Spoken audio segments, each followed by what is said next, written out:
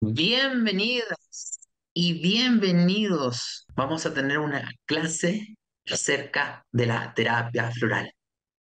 ¿Cómo escuchar tu voz interior con la terapia floral? ¿Para qué sirve? ¿Cómo nos puede aportar en la vida? ¿Cómo nos trae claridad? ¿Cómo es una herramienta terapéutica que tiene, nos da unos recursos enormes a nosotros mismos y un enorme recurso a ayudar a otras personas? Y para hacer esta masterclass, porque esto es realmente una masterclass, tengo dos invitados de categoría mundial, colegas, terapeutas, que les nos van a compartir. Y la primera invitada que tengo yo, también profesora de la Escuela Astroterapéutica, es Rosana Cini. Rosana es una maestra en la terapia floral, con 15 años de práctica y experiencia, no solamente como terapeuta, porque yo de hecho terapea a algunas amigas mías, Rosana, que la he mandado con ella, ¿ya? Sino que también académicamente y como profesora extraordinaria, también experta en mitología, experta en arte, nos va a compartir lo que ella sabe, sabe mucho, ¿ya? Y también tengo aquí a un colega y amigo mío, el gran Coldo Santiago, abogado de profesión. Ya trabajó muchos años como abogado, pero hoy en día es un terapeuta floral. No solamente es terapeuta, es educador de terapia floral y está haciendo algo muy interesante que es investigación y desarrollo de nuevos conceptos con la terapia floral. También, obviamente, es astrólogo y es alquimista. Les doy la bienvenida a ambos. ¿Cómo están? Un placer, Pablo, verte y a ti, Rosana, y a todos los que estáis ahí. Muchas gracias por invitarnos. Soy feliz también de estar aquí. ¿Qué son y para qué sirven las esencias florales? ¿Qué son? ¿Qué es esto? ¿Cuál es su aplicación? Si nosotros entendemos lo que descubrió el doctor Bach, que es un método de elaboración donde se junta la luz, el campo de información y de las flores y la potencialidad, del espíritu mundi, la potencialidad que está en todos nosotros, vamos a entender qué son y por qué es que nos pueden sanar y cómo es que despliegan la conciencia. Los, los remedios florales son esencias de flores hechas por una forma particular, que es el método solar mayormente, aunque hay laboratorios que lo hacen de otra manera. El original es el método solar. Y lo que hacen es aportar conciencia, autoconocimiento, la capacidad de ser testigo, la capacidad de incorporar a nuestro consciente las partes que están relegadas. Bach en 1930, él ya había, había trabajado como homeópata, era médico, pero va dejando todas esas formas atrás para dedicarse a algo que era buscar la luz, la luz primordial, la luz que nos reconectara con nuestro ser. Entonces, se muda de Londres a Abersoch y ahí lo que hace es encontrar las flores en su mejor momento de floración las pone en un bol de cristal con agua de manantial y a la primera hora de la mañana cuando está el rocío de la mañana. Entonces, ahí es ese bol de, de, agua de manantial con las flores, con el rocío, eso lo expone al sol. Ese es el método solar. Entonces, el, cuando se está haciendo la, la, esencia floral, no puede haber ninguna nube, porque entonces ahí se estaría nublando la conciencia, no tanto la luz. Entonces, lo que está haciendo la, la luz del sol es justamente un rango de luz que atraviesa la potencialidad que está, y el espíritus mundi que está en el rocío, que eso es un método alquimista, y también atraviesa el campo de información, el arquetipo viviente que es la flor. Entonces, el espíritus mundi es el primer movimiento que hace la existencia para poder ser. Entonces, en el inicio era el caos, el caos de infinitas potencialidades, de ese mar de Nun, de ese caos de infinitas potencialidades, emerge un primer principio. Ese primer principio es el espíritu mundi, que es lo que le va a dar forma a todo lo que existe, existió y existirá. Entonces, es eso lo que nosotros tomamos. Cuando ese espíritu mundi, o sea, ese rocío, el espíritu mundi quedó impregnado en el rocío, y eso queda en, en la preparación de la esencia floral, nos estamos tomando la potencialidad pura, por eso es que las flores desarrollan nuestra potencialidad. Entonces, ¿qué es lo que tiene una esencia floral? Tiene luz que pasa a través de esa potencialidad, el Spiritus Mundi, todo de potencia, y que toca un campo de información particular. Que ese campo de información son las flores, son símbolos que contienen información, luz, conciencia. ¿Qué pasa conmigo cuando yo tomo ese arquetipo? ¿Qué es lo que producen las esencias florales? ¿Cuál es el efecto, de cierta manera? Algo genial, que es iluminar ese arquetipo si está en, en defecto o en exceso.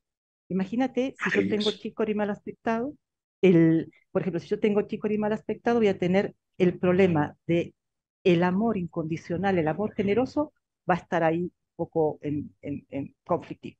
Porque o, soy demasiado apegada de una manera más conflictiva o demasiado desapegada de una, de una manera conflictiva.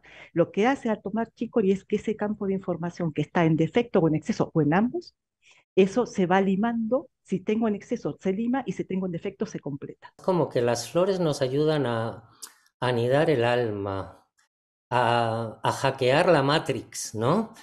a romper las estructuras del yo que nos obligan una y otra vez a hacer cosas que, real, que realmente no, eh, no nos dejan ser fieles a nosotros mismos, como decía el propio Bach, ¿no? Bach también nos decía que el mal es el bien fuera de lugar, ¿no? Entonces yo creo que las flores en esa línea que apuntáis, ¿no? Que apunta Rosana, ¿no? De que vaya emergiendo al plano consciente la luz que muchas veces está eh, como gripada, obstruida, negada, obstaculizada, reprimida en el inconsciente. En ese proceso de emergencia nosotros vamos descubriendo los mecanismos que a menudo nos tienen sometidos a mandatos, autorrelatos, a memorias. Las flores son en suma una herramienta eh, muy sutil porque permite eh, desvelar, quitar el velo a toda esa idea distorsionada de eh, lo otro, de los otros y de nosotras mismas, ¿no? Y nos abren la puerta a conectar con el corazón y transformar la vida, ¿no? Y nos permiten ver desde otro lugar, ¿no? Entender también objetivamente las cosas con otra conciencia entender la información y la energía, lo que nos propone la vida, si queréis, ¿no? Y cómo cuando entendemos la propuesta de la vida y vivimos la experiencia para ver qué nos inspira, para descubrir el secreto, digamos, ese lenguaje mágico que nos va mostrando direcciones realmente eh, trascendentes y sustanciales, cómo se desmorona todo el edificio que nos intima, que nos obliga, que nos requiere, que nos ordena, que nos obstaculiza, que nos daña, y empezamos a ver de una manera, si quieres, más transparente nuestro sentido y el sentido de todo lo que es. Abrazar nuestra parte, si quieres, más limitante, entender que tiene un sentido. Ser compasivos y misericordiosos con nosotros mismos tiene que ver con la toma floral.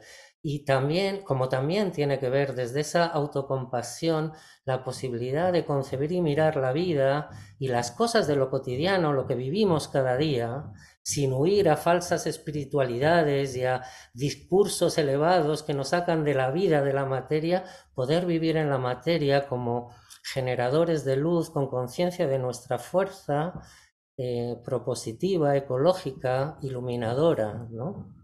Esas son las flores, en realidad.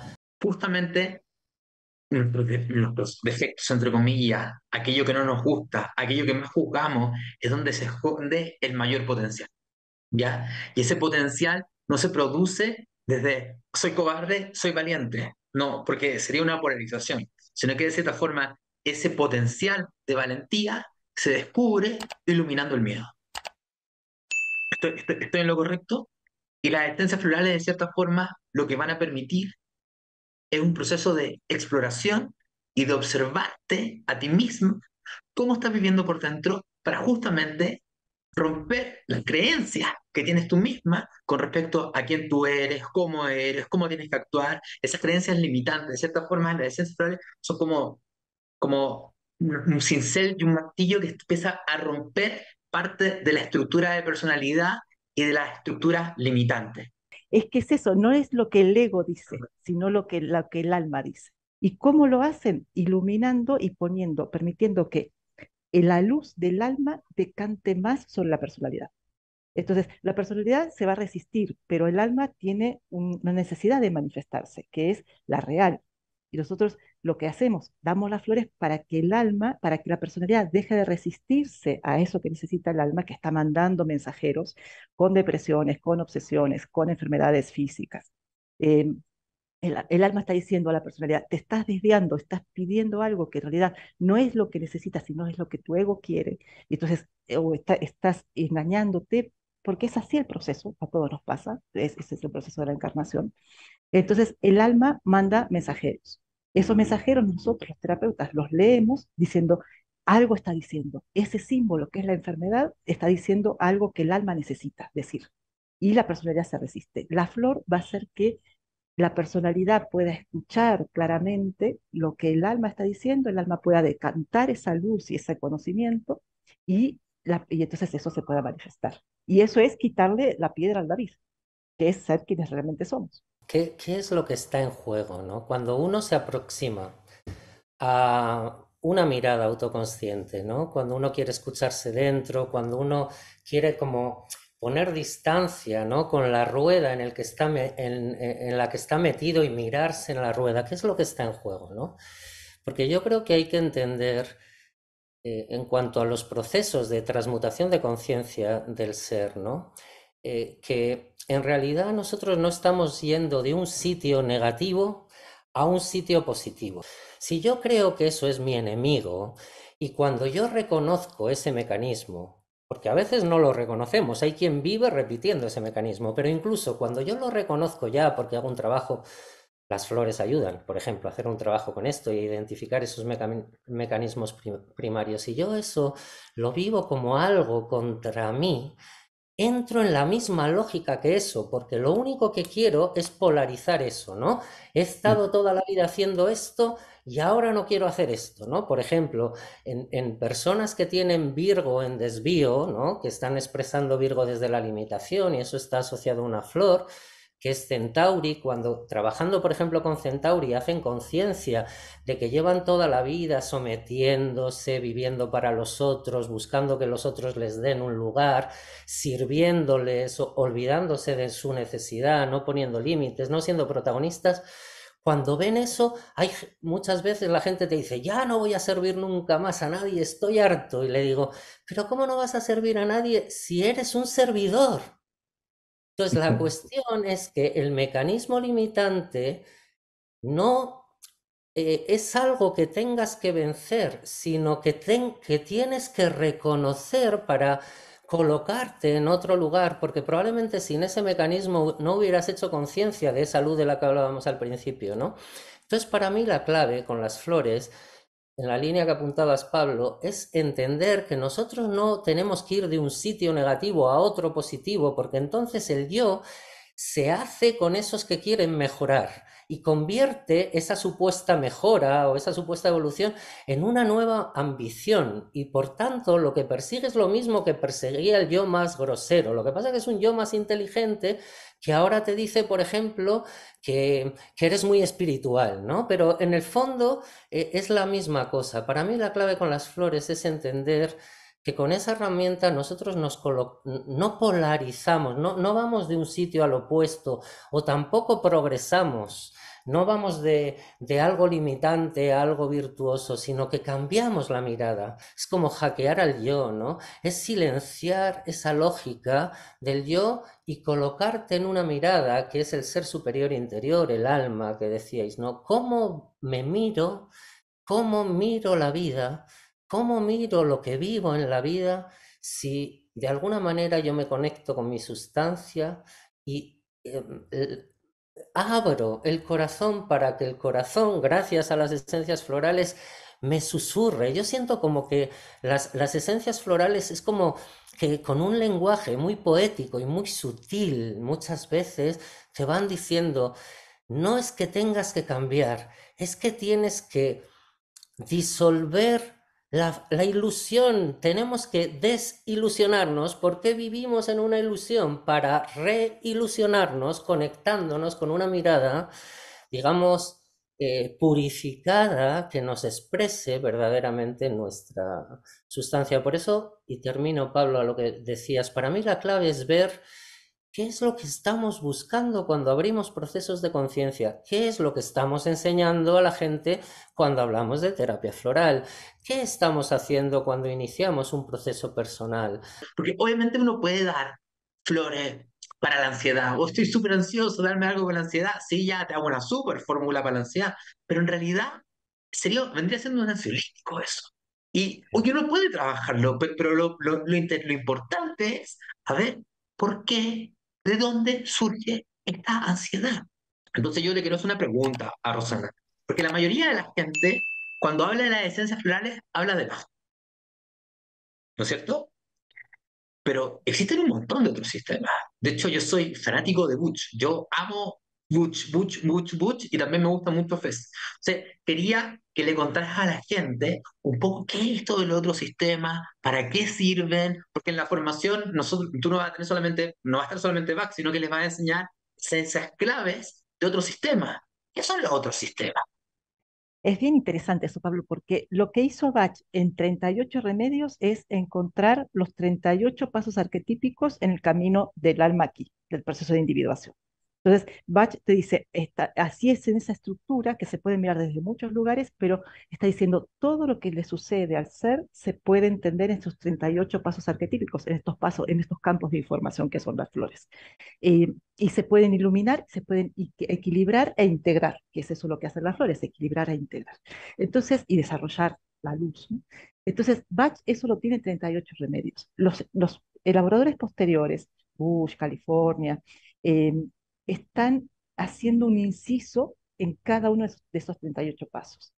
Entonces, por ejemplo, eh, nosotros podemos tener eh, consultantes que llegan a, vernos, ¿no? que dicen, eh, sufrí abuso sexual y entonces, o estigma, entonces tengo mucha vergüenza, tengo mucha culpa, no me puedo vincular, en general, no solo sexualmente.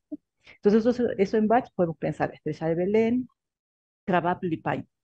Ahora, en California hay una esencia, se llama Easter Lily, que trabaja puntualmente el trauma, la vergüenza, la culpa, el sentido de indignidad, todo eso que es Easter Lily, que es la, flor de la azucena, es la que te dice, el, la que va a equilibrar, integrar las experiencias de una manera compasiva, como, como nos contaba Coldo, para que yo sepa que lo que haya sucedido con mi historia, eso tiene un sentido profundo y eso no me hace indigna de ninguna manera. Lo único que hizo, lo que hizo fue, eh, a partir de un proceso de sanación, es desarrollar una forma de conciencia sobre esa experiencia.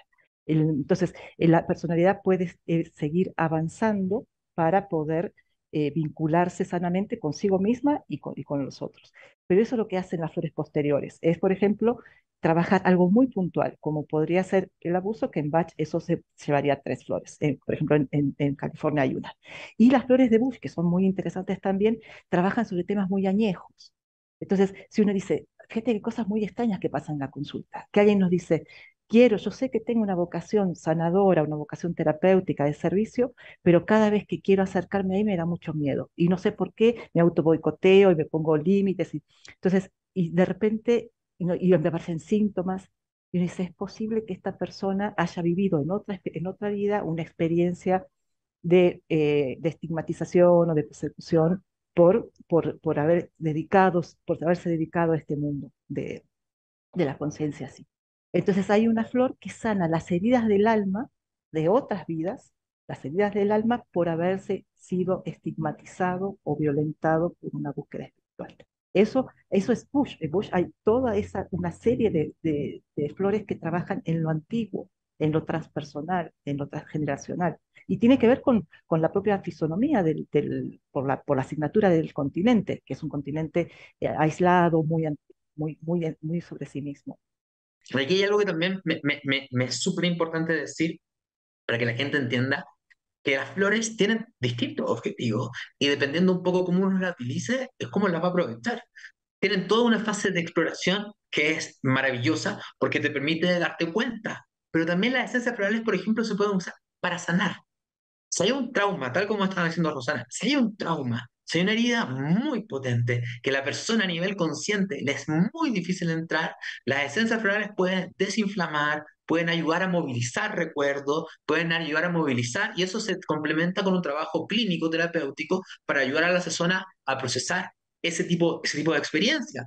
Y no solamente eso, sino que las esencias florales también se pueden utilizar para desbloquear algo, algo que está bloqueado, algún trauma, alguna memoria, algún tipo de experiencia que está atascado. Por eso Recuerdo cuando yo partí tomando ciencias florales, yo era una bestia. Yo iba, me veía, me veía el catálogo de Butch, si bien plutoniano que soy, me veía el catálogo de Butch y veía cuál es la esencia más fuerte. Ay, me la compraba y me la tomaba directo del frasco, así. Eso, chicas, chicos, no lo hagan. Eso era, eso era otra época donde éramos más brutos los terapeutas, ¿ya? Pero se pueden hacer todas esas cosas de indagación. Waldo, querido, te quiero hacer una pregunta a ti.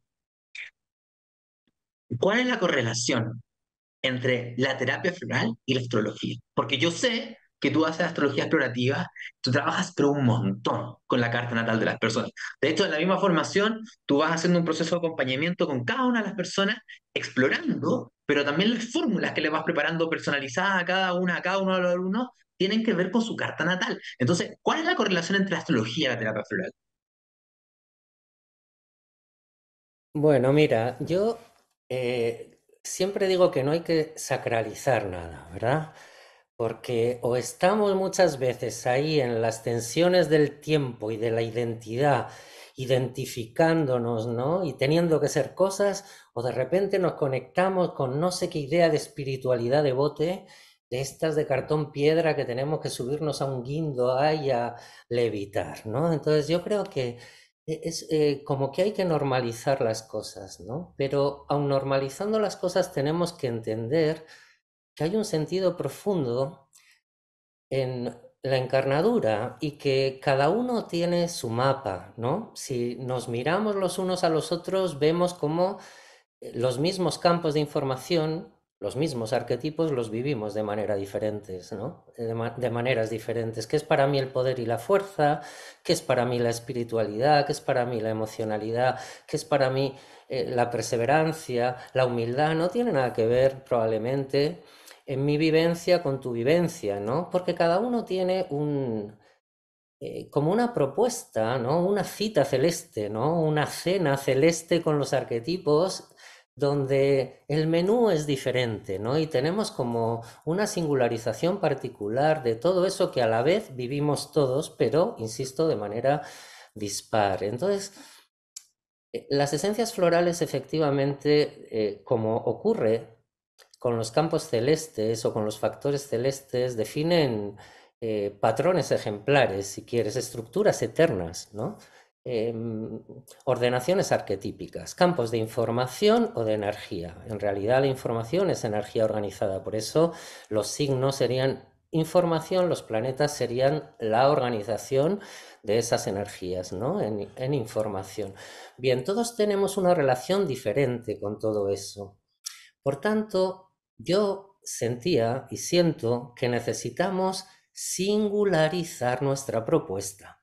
Entender que todos nos relacionamos, por ejemplo, yo qué sé, con la impaciencia o con sentirnos desconcertados por estar vivos o, o con sentirnos agredidos o con evadirnos de aquello que nos resulta áspero o con dificultades para articularnos en la presencia o para entregarnos a la experiencia o con el resultado. Todos tenemos relación con eso, pero di diferenciada.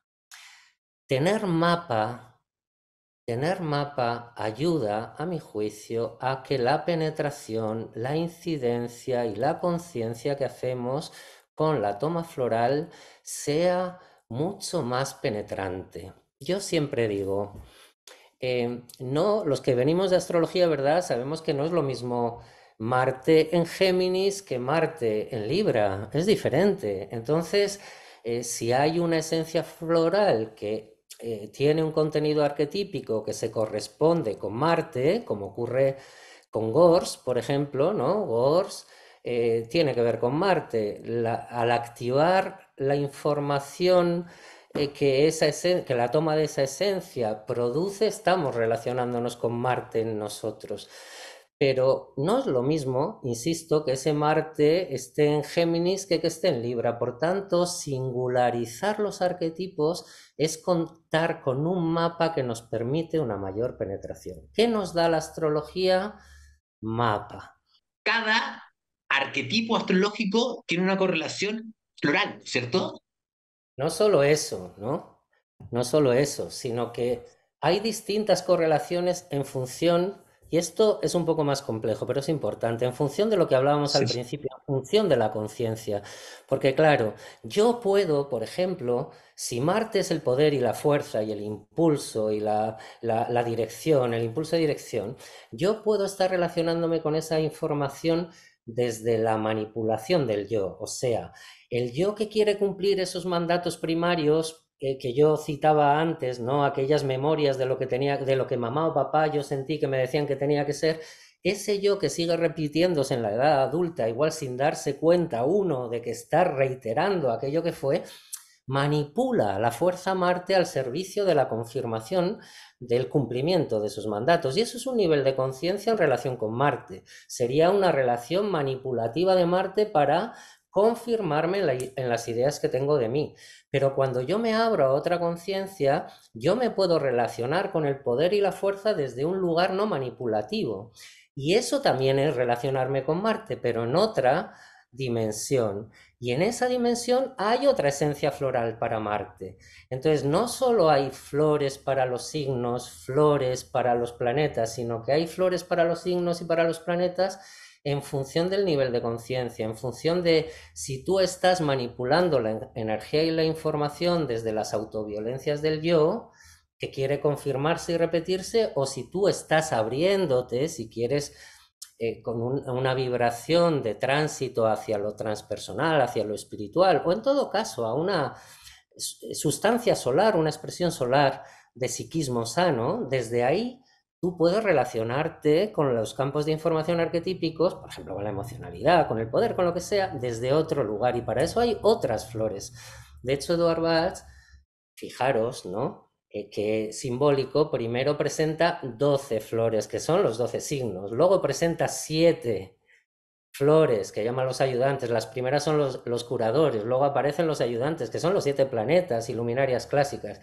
Y luego presenta otras 19 que él dice son más espiritualizadas. Entonces son los 12 más los 7, pero en un nivel de conciencia no manipulativo, donde el yo, digamos, ya no nos toma, no nos lleva a esa autoviolencia, sino que el ser ha emergido, se ha desvinculado, desidentificado del yo que creía ser y empieza a relacionarse con la propuesta vital y con la energía e información que sostiene todo lo que vivimos desde otro lugar. Para eso hay otras flores, ¿no? ¿Cómo para un terapeuta, de lo que sea, qué le aporta aprender esencias florales para su consulta, para su clínica? ¿Cómo le aporta? Justo estaba pensando en eso cuando, cuando, cuando, cuando compartía, porque ¿qué nos aporta? Nos aporta una gran herramienta para, para que la persona desarrolle esa luz y esa belleza y esa sabiduría. Entonces, al, no es lo mismo procesar algo desde la conciencia o desde, digamos, desde el intelecto que procesarlo alquímicamente con el campo de información y la luz que uno toma. Entonces, hay, se hace, realmente se hace distinto el proceso. Yo me acuerdo de pacientes que me decían, este tema lo trabajé 20 años en psicoanálisis, pero nunca se había terminado de destrabar. ¿Por qué? Porque justamente hay un proceso alquímico que se hace con las flores y es eso, eso nos dan una gran herramienta. Y también que nos ayuda a entender la trama de la vida, lo que decía Coldo. Cuando nosotros conocemos las flores, nosotros conocemos el arquetipo, cómo se manejan. Entonces decimos, claro, a una persona con esta característica le va a suceder este tipo, va a tener este tipo de experiencias. Entonces eso nos permite ir armando el rompecabezas, la trama de la vida. Como terapeutas, cuando nosotros estudiamos flores, entendemos la trama de cómo se va hilando todas las experiencias porque conocemos los campos de información que están, se están intercalando. Entonces, es un conocimiento muy profundo. Quiera uno eh, eh, trabajar o no, el conocimiento arquetípico que te dan las flores simbólico es impagable para entender la realidad humana, para entender la naturaleza humana. Entonces, también te da no solo una herramienta, que son los remedios florales, una gran herramienta de transformación alquímica, sino que también te da una mirada muy profunda es, a mí eso es lo que, me, lo que me enamoró de las flores, que empecé a entender la naturaleza humana a, a, partir de los símbolos que son las flores, como son los planetas. Sí, hermoso, hermoso. A mí me pasó algo muy parecido, porque cuando yo empecé a leer cartas astrales, a mí me pasaba que yo terminaba la sesión así angustiado, porque le veía un montón de cosas a las personas y, y las personas me decían, pero ¿cómo hago? ¿Cómo lo hago? ¿Cómo lo hago? Y a mí la terapia floral fue una herramienta. Ok, toma conciencia de esto. Esencia para tomar conciencia para observarte. Que tengo un trauma, bueno, vamos para esto. Esencia para desbloquear, o sea, como lo que me dio fue una, fueron una herramienta para poder meterme de cierta forma en el campo o ayudar a la persona a que se conecte con cierta experiencia en el campo, como que te dio es muy tierra de cierta forma. Si bien es, muy espiritual, te da algo muy práctico como terapeuta, una herramienta para poder entrar y trabajar.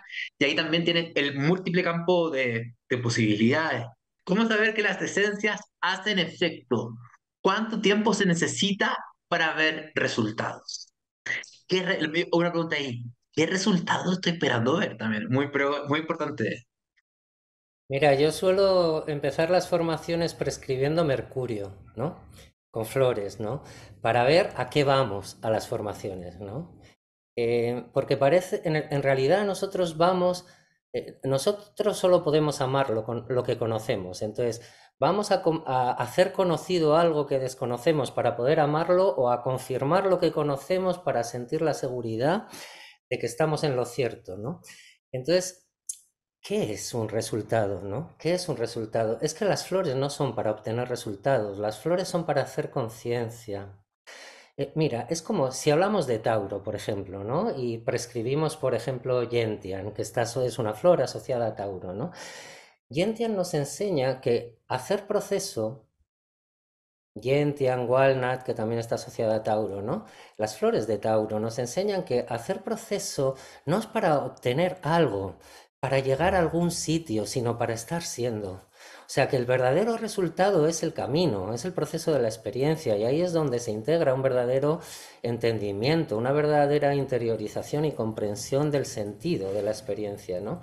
Entonces, quizá yo diría que el resultado es calmar la necesidad, el resultado de las tomas florales en, parte es calmar la necesidad del resultado, porque el que quiere un resultado es el yo, el yo que de nuevo quiere autoviolentarte. Entonces, las esencias florales más que eh, llevarte a algún sitio te ponen de manifiesto, por seguir con el ejemplo de la pregunta, cómo estás buscando obsesivamente llegar a algún sitio. Sería un ejemplo, ¿no? Un ejemplo, podremos podemos llevarlo a otros ámbitos, ¿no?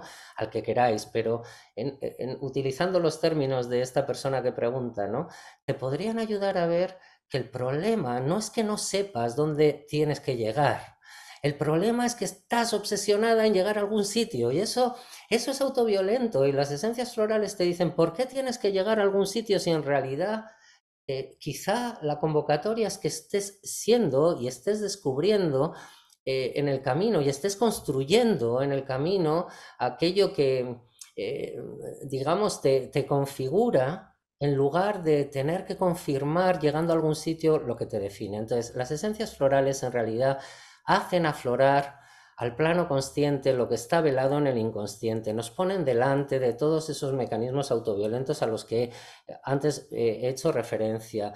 Y una cosa muy importante de las tomas florales es que no solo haces conciencia, sino que sostienen en el tiempo la conciencia de eso que ha aflorado, emergido, al plano consciente para que puedas ver, por ejemplo, cómo eh, eso no te representa o es una vibración baja, una frecuencia eh, baja del potencial de luz al que nos referíamos al principio, para que puedas hacer una transformación eh, progresivamente que te lleve a estar asentada en una manifestación más luminosa de ti y no en ese mandato autorrelato en el que antes estabas atrapada. Entonces, las tomas Em, el tiempo que te decían, los procesos, pues depende de lo que estemos abordando, ¿no?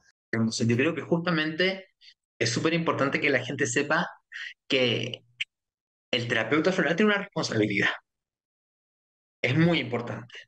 Porque hay un tema, aquí pasan dos cosas, retomando lo que dice Coldo y probablemente Rosana está de acuerdo conmigo. Cuando uno da esencias, uno no sabe lo que va a pasar. Uno no sabe lo que va a pasar porque se, porque se va a mover algo y se va a revelar algo y tú no sabes si se te va a ir para acá o para allá. Por eso es tan importante en la formación y en esta formación y cualquier formación de la personal que te enseñen a continuar el proceso clínico. Porque ¿qué pasa si tú le diste para algo y se activó esto? O sea, que te equivocaste. No, lo que te se estaba revelando era algo que tú no estabas viendo que las esencias justamente te permiten revelar. con respecto a la ansiedad para apurar, yo soy testigo, o sea, yo soy a mí, hace 15 años atrás, cuando yo empecé a tomar flores como, como paciente, la terapeuta me dijo, yo te voy a acelerar el proceso porque bla, bla, bla. Y me dio mucha esencia. Y me provocó una crisis de sanación que me duró casi un año. ¿Ya? Mm. Y yo ahí aprendí que no hay que forzar los procesos. ¿Ya? Y, y yo siempre, al menos mi metodología, doy esencias para algo, pero también doy esencias amorosas para acompañar el proceso.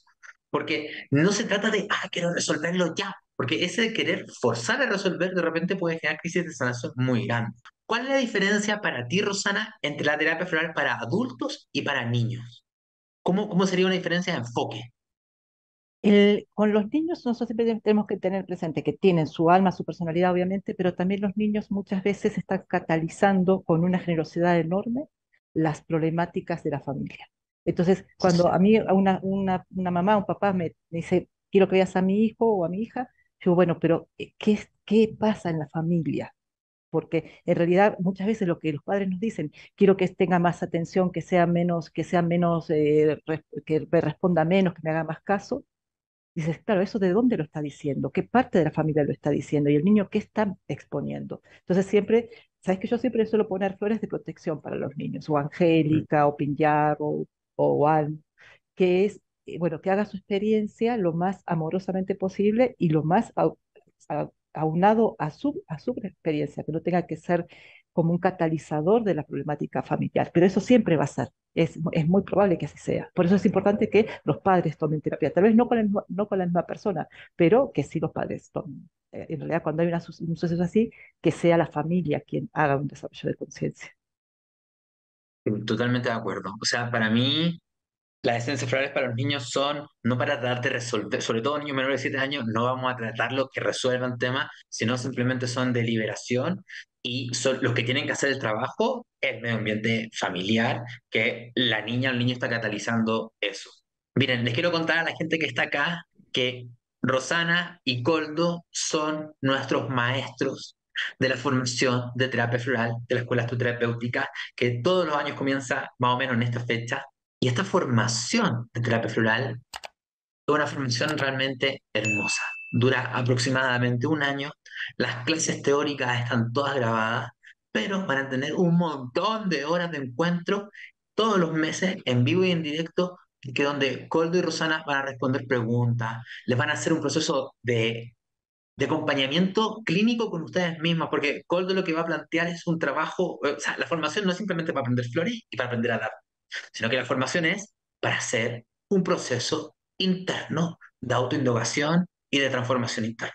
Es realmente, si tú no tienes ganas de hacer mucho trabajo interno, no te metas, porque esto es para removerte y para que pueda surgir ese yo esencial. Es una formación realmente hermosa, hermosa, hermosa. Aparte, Rosana nos va a entregar toda la información que ella sabe con respecto al otro sistema. Coldo también tiene una, una cosa que a mí me gusta mucho, que yo encuentro que es genial, que es que trabaja de forma individualizada, podríamos decir, con cada uno de los alumnos y las alumnas. O sea, él está disponible para los mails, para WhatsApp, va trabajando, aparte que se hacen, se hacen acompañamientos grupales, Coldo va trabajando con cada una de las personas siguiendo. Entonces, los procesos. Es realmente hermosa y, y estoy muy contento que ustedes estén en la formación. Los dos, estoy orgulloso realmente de que la escuela tenga esta formación, me encanta.